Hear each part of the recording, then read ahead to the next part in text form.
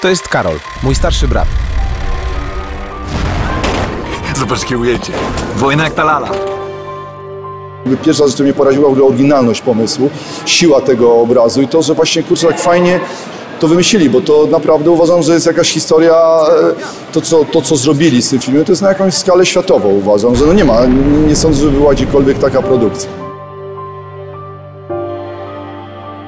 Jak zobaczyłem to, to po prostu e, odpadłem, przyznam szczerze, bo e, siła tego była taka, nie wiem, ten kolor i, i, i dźwięk plus jakby no podłożenie tych głosów aktorów do tego no jakby uderzyło mnie, bo, bo jakby poczułem tak jakbym, nie wiem, tam był, albo jakby to byli moi koledzy. No, miałem wrażenie, że nagle dostało to takiej siły, że wydawało mi się, że się działo to wczoraj, dwa dni temu, trzy dni temu.